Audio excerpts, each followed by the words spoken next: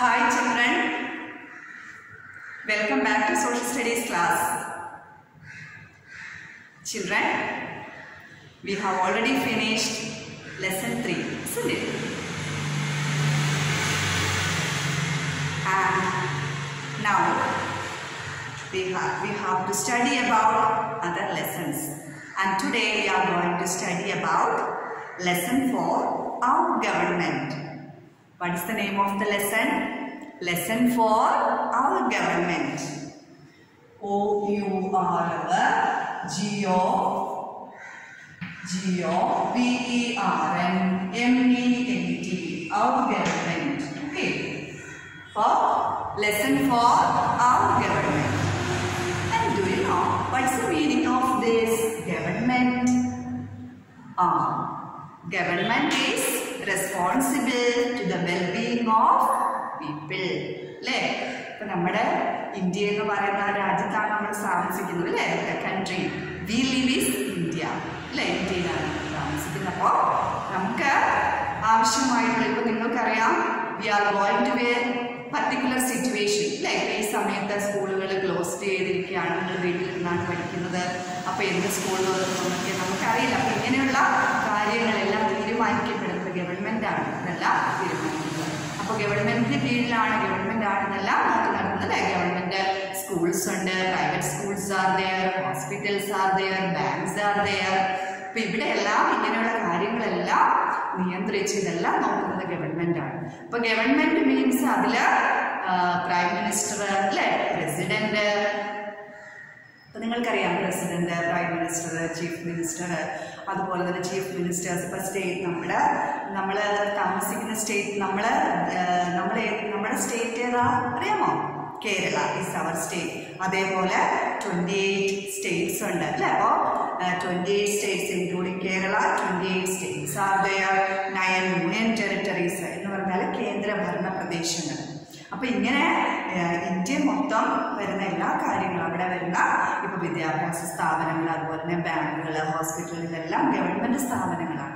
ഇതെല്ലാം നോക്കി നടത്തുന്ന ഗവൺമെന്റ് ആണ്.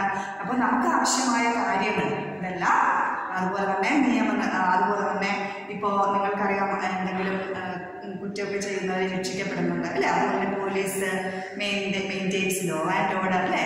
അപ്പോൾ ഇതെല്ലാം ഗവൺമെന്റ് എന്ന് പറയുന്നത് ജനപ്രതിനിധികൾ നമ്മൾ ഇലക്ഷൻ വഴിയായിട്ട് തിരഞ്ഞെടുക്കുന്ന നമ്മുടെ ലീഡേഴ്സ് അല്ലേ?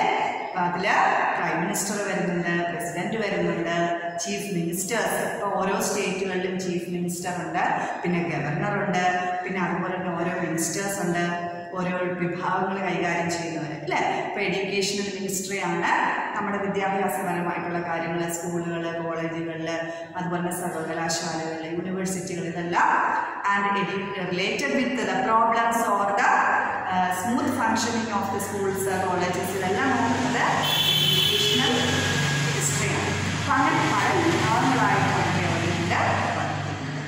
അപ്പോൾ means the people means we or the people and the leaders who are elected by us. അപ്പോൾ നമ്മൾ തിരഞ്ഞെടുക്കുന്ന ജനപ്രതിനിധികൾ അല്ലെങ്കിൽ ലീഡേഴ്സും ലീഡേഴ്സ് എന്ന് പറഞ്ഞാൽ ആരൊക്കെ വരും അതിനകത്ത്? പ്രൈം മിനിസ്റ്റർ വരുന്നുണ്ട് അല്ലേ? അതുപോലെ തന്നെ ചീഫ് മിനിസ്റ്റേഴ്സ് അല്ലാതുള്ള മിനിസ്റ്റേഴ്സ് അതുപോലെ തന്നെ പ്രസിഡന്റ് പ്രധാനപ്പെട്ട വ്യക്തി അല്ലേ? രാജ്യത്തെ പ്രധാനപ്പെട്ട വ്യക്തി എന്ന് പറയുന്നത് ഇസ് ദ പ്രസിഡന്റ് രാഷ്ട്രപതി എന്ന് പറയും അല്ലേ? You know who is our present president present president is Shri Ramnath Kovind അതേപോലെ തന്നെ who is our prime minister Shri Narendra Modi അല്ലേ? അതുപോലെ നമ്മുടെ ചീഫ് മിനിസ്റ്റർ ആരാ? ശ്രീ പിണറായി വിജയൻ അല്ലേ? അതുപോലെ തന്നെ ആരിഫ് മുഹമ്മദ് ഖാൻ അല്ലേ? നമ്മുടെ ഗവർണർ അപ്പൊ അങ്ങനെ ഓരോരോ ജനപ്രതിനിധികളെ ലീഡേഴ്സ് അവരെ നമ്മളെ ഭരിക്കുന്നത് നമ്മളാണ് അവരെ തിരഞ്ഞെടുക്കുന്നത്.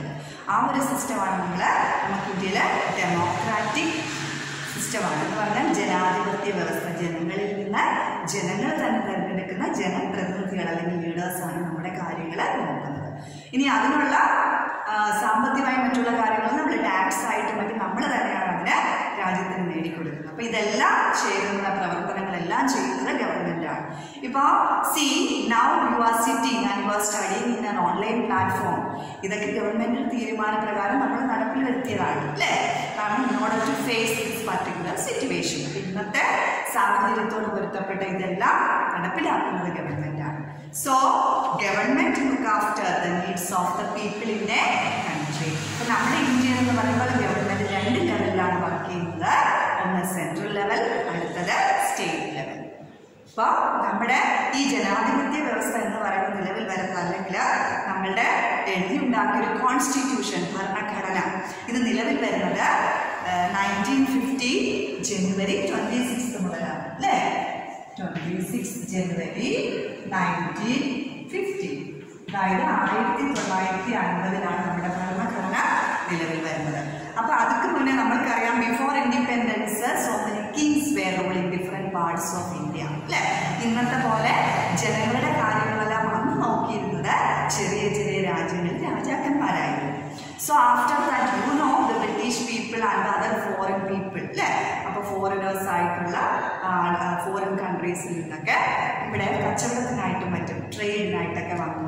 അങ്ങനെ ഫ്രഞ്ചുകാര് ഡച്ചുകാര് പോർച്ചുഗീസുകാര് അതുപോലെ തന്നെ ബ്രിട്ടീഷ് പീപ്പിൾ പിന്നെ അവസാനം അവസാന പിന്നീട് British people they came here as traders and they have taken the whole control of our country അല്ലേ ഇപ്പം രാജാക്കന്മാരെയൊക്കെ സ്വാധീനിച്ചും അവരെ തമ്മിലടിപ്പിച്ചുമൊക്കെ നമ്മുടെ ഇന്ത്യയുടെ പൂർണമായിട്ടുള്ള സ്വാതന്ത്ര്യം അവരെടുത്തു.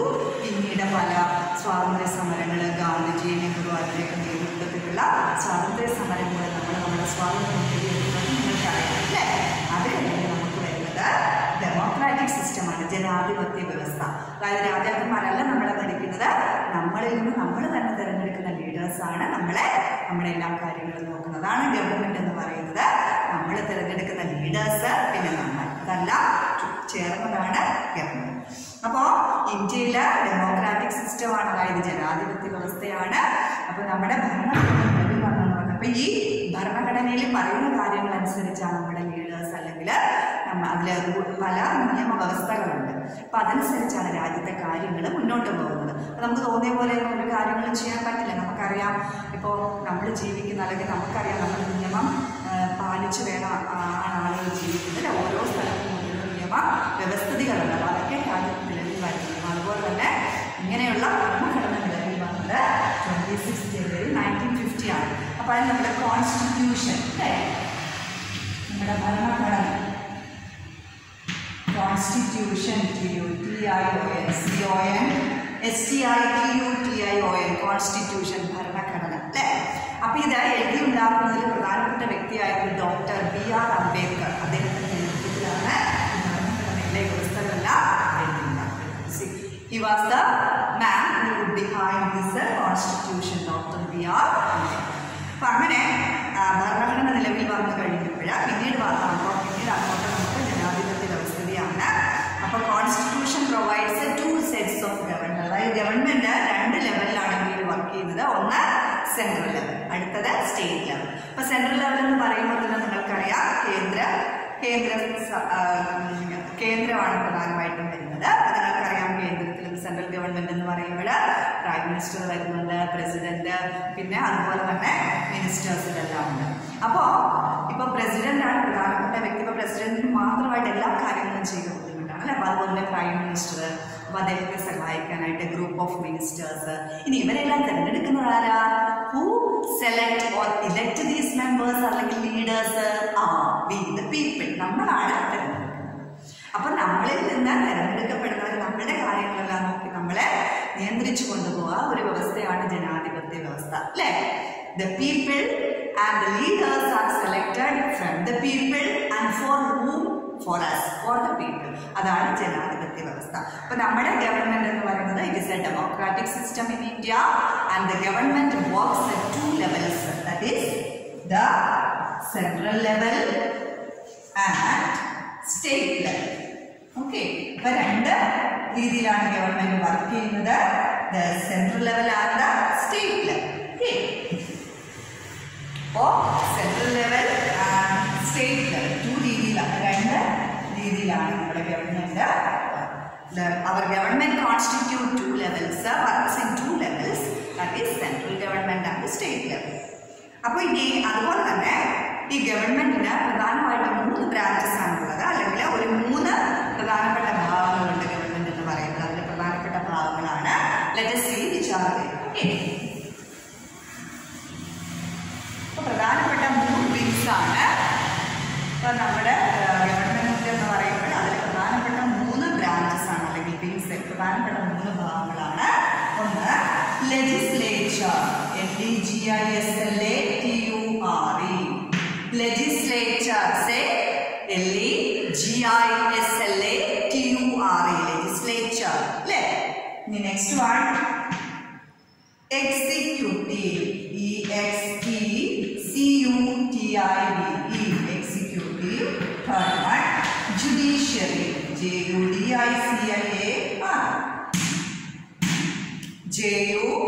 I judiciary this is executive and this is legislature ഇതാണ് പ്രധാനപ്പെട്ട പ്രധാനമായിട്ടും മൂന്ന് മൂന്ന് പ്രധാനപ്പെട്ട ഭാഗങ്ങൾ അത് ഗവൺമെന്റ് എന്ന് പറയുന്നത്.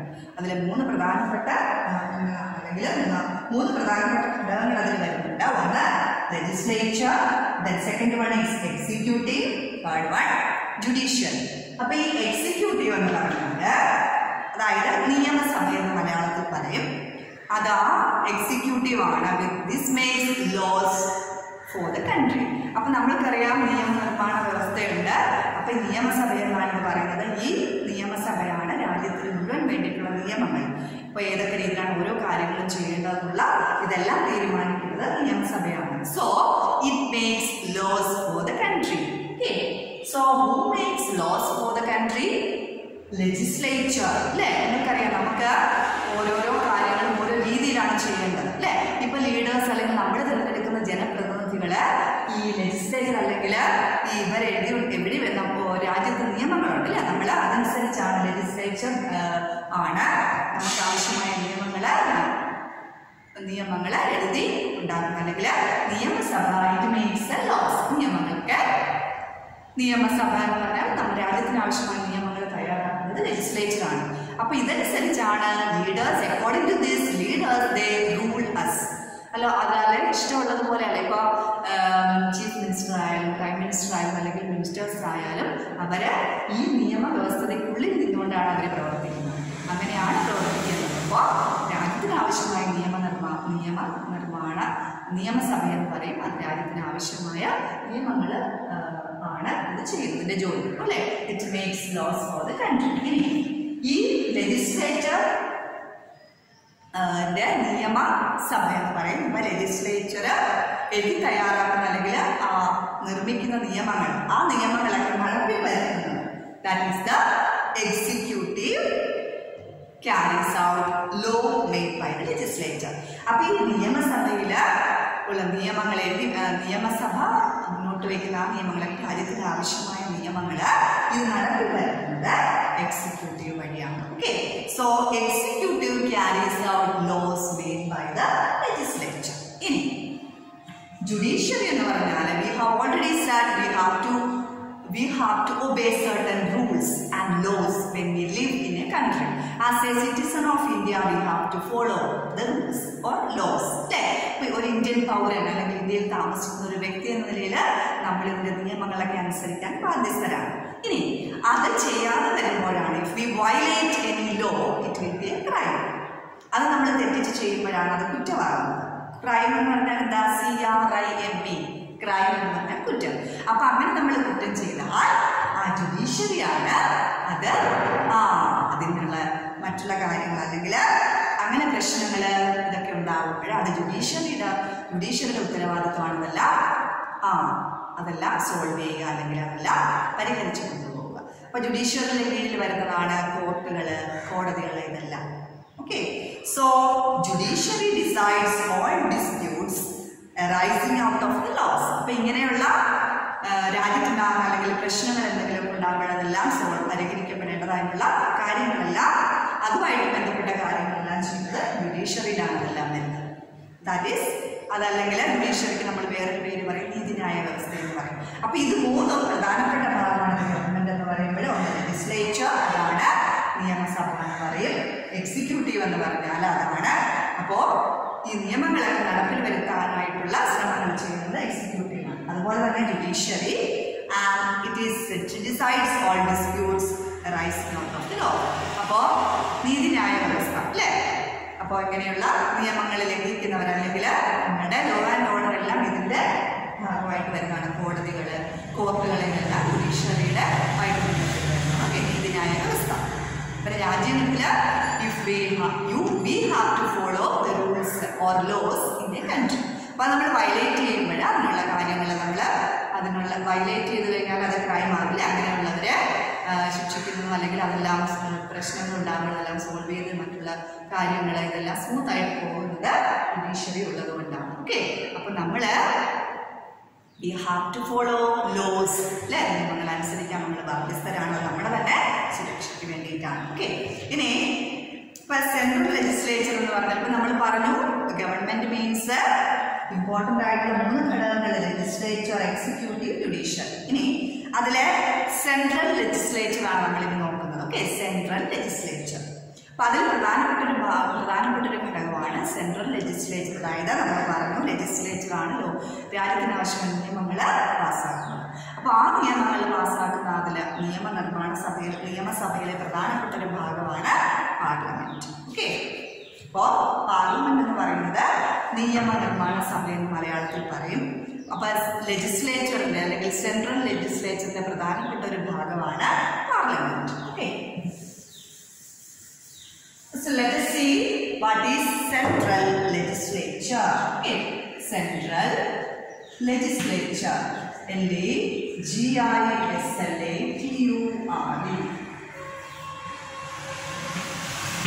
ഈ സെൻട്രൽ ലെജിസ്ലേച്ചർ അതായത് നിയമസഭ അപ്പൊ രാജ്യത്തിന് ആവശ്യമായ നിയമങ്ങൾ പാസ്സാക്കുന്നതും അതിന്റെ കാര്യങ്ങളെല്ലാം ചെയ്യുന്നതും ലോസ് നിയമങ്ങളെല്ലാം പാസ്സാക്കുന്നത് ഈ സെൻട്രൽ ലെജിസ്ലേച്ചർ അതിൽ പ്രധാനപ്പെട്ട ഒരു ഭാഗമാണ് പ്രധാനപ്പെട്ട ഘടകമാണ് parliament.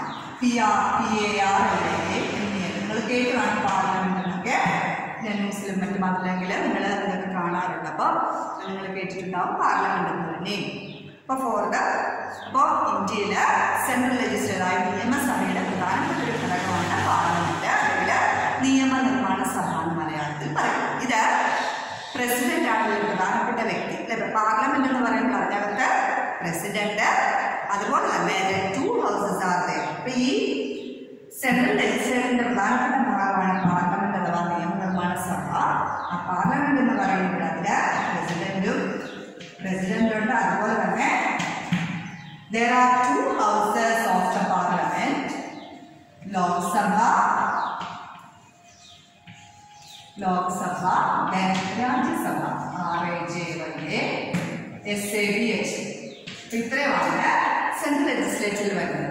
പ്രധാനമായിട്ട് നിയമനിർമ്മാണ സഭ അല്ലെങ്കിൽ പാർലമെന്റാണ് ഇതിന്റെ പ്രധാനപ്പെട്ട ഘടകം എന്ന് പറയുന്നത് അതിൽ വരുന്നത് പ്രസിഡന്റ് അതുപോലെ തന്നെ ലോക്സഭ പാർലമെന്റ് എന്ന് പറഞ്ഞാൽ തന്നെ പ്രധാനപ്പെട്ട വ്യക്തി എന്ന് പറഞ്ഞാൽ പ്രസിഡന്റിന്റെ അധീനതയിലാണ്. അപ്പോൾ രാജ്യത്തെ പ്രധാന പൗരൻ അല്ലെങ്കിൽ പ്രഥമ പൗരൻ എന്ന് പറയുന്നത് ഏറ്റവും പ്രധാനപ്പെട്ട വ്യക്തിയാണ് പ്രസിഡന്റ്. ഇപ്പൊ പ്രസിഡന്റും അതുപോലെ തന്നെ ടു ഹൗസസ് ഓഫ് ദ പാർലമെന്റാണ് ഒന്ന് ലോക്സഭ രാജ്യസഭ ഇപ്പൊ ലോക്സഭ എന്ന് പറഞ്ഞാൽ നമ്മൾ തിരഞ്ഞെടുക്കുന്ന ജനപ്രതിനിധികൾ ഉൾക്കൊള്ളുന്നതാണ് ലോക്സഭ അല്ലെ? ജനങ്ങളിൽ നിന്ന് തിരഞ്ഞെടുക്കപ്പെടുന്ന ജനപ്രതിനിധികളുള്ളതാണ് ലോക്സഭ. അപ്പോൾ ഇനി അതുപോലെ തന്നെ ഈ നമ്മുടെ പാർലമെന്റ് ആ നിലവിൽ വരുന്നത് നമ്മൾ പറഞ്ഞു നയന്റീൻ ഫിഫ്റ്റി ആ ജനുവരി ട്വന്റി സിക്സ് ആണ് നമ്മുടെ പാർലമെന്റ് നിലവിൽ വന്നത് പാർലമെന്റ് എന്ന് പറയുന്നത് സെൻട്രൽ ലെജിസ്ലേഷൻ സെൻട്രൽ സെൻട്രൽ ലെജിസ്ലേച്ചറിന്റെ പ്രധാനപ്പെട്ട ഭാഗമാണ് ഈ പാർലമെന്റ്. ഇതിലെ പ്രധാനപ്പെട്ട വ്യക്തി എന്ന് പറയുന്നത് ഇത് പ്രസിഡന്റിന്റെ അധീനതയിലുള്ളതാണ്. പ്രസിഡന്റിന്റെ കൺട്രോളിൽ വരുന്നതാണ് പ്രസിഡന്റ്. അതുപോലെ തന്നെ ടു ഹൗസസ് ലോക്സഭ രാജ്യസഭ. ലോക്സഭ എന്ന് പറയുന്നത് ജനപ്രതിനിധികളുടെ സഭയാണ്. അതായത് നമ്മൾ ഇലക്ഷൻ വഴിയായിട്ട് തിരഞ്ഞെടുക്കപ്പെടുന്നവരാണ് ജനപ്രതിനിധികൾ എന്ന് പറഞ്ഞ ലീഡേഴ്സ് അപ്പോൾ പൊളിറ്റിക്കൽ ലീഡേഴ്സ് അതുപോലെ നമ്മൾ ഇലക്ഷൻ വഴിയായിട്ട് തിരഞ്ഞെടുക്കപ്പെടുന്നു. ഇലക്ഷനിൽ നിന്ന് ജയിച്ചു വരുന്ന ആ ജയിച്ചു വരുന്നവർ അവരാണ് ലോക്സഭയിൽ വരുന്നത്. അവരാണ് ജനപ്രതിനിധികൾ. ഇനി അതുപോലെ തന്നെ രാജ്യസഭ അല്ലേ? രാജ്യസഭ എന്ന് പറഞ്ഞാൽ ഇപ്പോ രാജ്യസഭയിൽ പാർലമെന്റ് ഗവൺമെന്റിന്റെ മേൽസഭ എന്ന് പറയും. അപ്പൊ ഇത് ഇത് നമ്മുടെ lower house of the parliament എന്ന് പറയും ലോക്സഭ. ഇത് upper house of the parliament. അപ്പൊ രാജ്യസഭ എന്താണെന്നുള്ളത് നമുക്ക് വീണ്ടും നന്നായിട്ട് ഒന്നുകൂടെ വിശദമായിട്ട് പഠിക്കാം.